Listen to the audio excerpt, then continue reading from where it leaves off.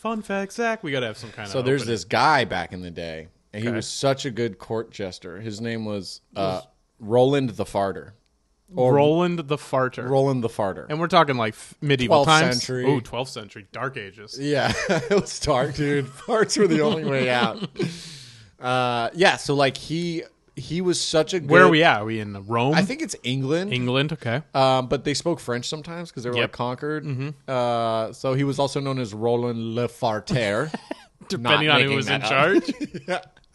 And he would do a show once a year on Christmas for the king and the court, where uh, the show was called like a leap, a fart, and a whistle. And the end of his performance was him jumping, whistling, and farting at the same time. Wow. Only had to do it once a year. Got land, got like acreage. And like That's like the original EGOT. He could jump, fart, and whistle.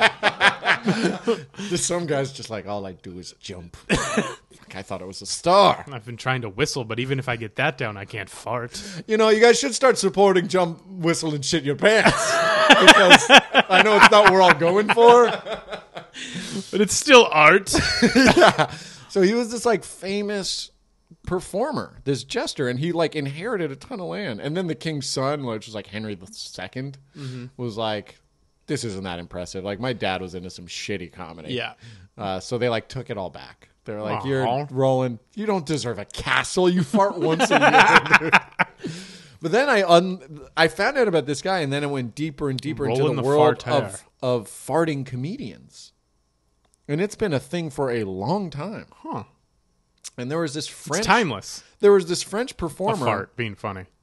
who he was a baker's son, and he went swimming once and found out that he could like inhale water in his asshole and shoot it like five meters. and so then he realized he could do it with air, and he was known for having like crazy long farts, and he could like r- do impressions with his butthole. And uh, That's but- fun. But what was more impressive is they never smelled. So it was like everyone could enjoy Hmm. this. You know, you could come over to our house party and like fart for an hour, do an hour long fart. So he ended up like like the equivalent of Carnegie Hall, like the Royal Theater, and he would wear a tuxedo and he would do these long fart into like a director's pho- phone thing Mm-hmm. and do like anthems, like national So they were anthems. loud, They were but not smell. they were loud. They didn't smell, and he could control it. Like he could recite music, That's wild. and so he was so good. And it You was can- people do that with burps. it was such never a with mystery Uh huh. that rich gentlemen would pay him to perform in their like private Parlors. clubs or Yeah. par- parties, and uh, he would have to be butt naked so that they could see what was. They're like, dude. I, I, I told him we're gonna give him a thousand bucks. Let's find out if this is real. This got to be real. and right? they're just like watching his butt naked, and Hmm. they're like, "All right, wow."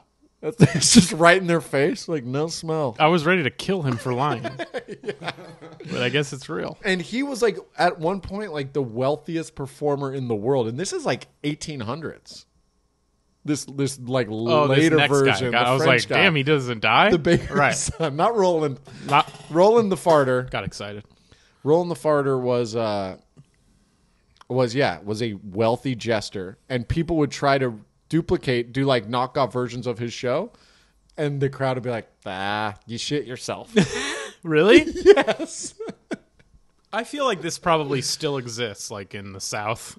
Oh People are yeah. still like, dude, you got to come over. I mean, Jackass. It's the first, the first Yes. Jackass movie where they, they, they hired the guy that, that can do the He can suck he air in. darts darts with his butthole and like he did like targets and like pop balloons and stuff. Yes. like Johnny Knoxville and all those guys Yes. are like dying in the hotel room. and they poured uh, baby powder over his butthole, and then he like blow up clouds, or they'd light it on fire. It's just like it f- feels like Jackass was like a dumb thing that we were all loved in our lifetime, but Mm-hmm. it's really been like King Henry the Second in the fucking dark Cavemen, ages dude. Is like, dude, watch this guy this Christmas.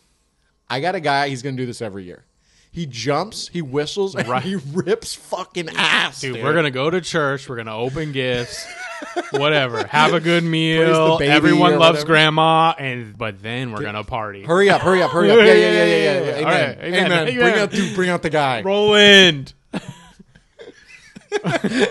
And Roland's like, "Forgive me, sir. I have shit myself this time. Damn, worst Christmas ever. That was a bad Christmas. yeah. Let's start a war.